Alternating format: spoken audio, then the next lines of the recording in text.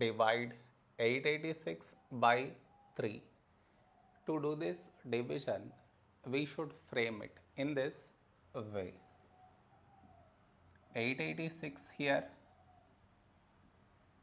3 here. This is your step 1. Next, here we have 8, here 3. A number close to 8 in 3 table is 3 twos 6. Now we should subtract, we get 2.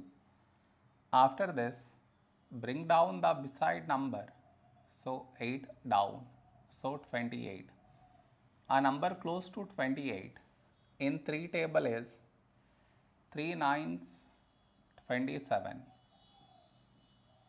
Now we subtract, we get 1.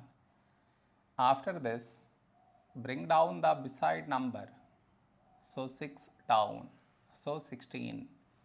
A number close to 16 in 3 table is 3 fives 15. Now we subtract, we get 1. No more numbers to bring it down, so we stop here. This is our remainder, this is our quotient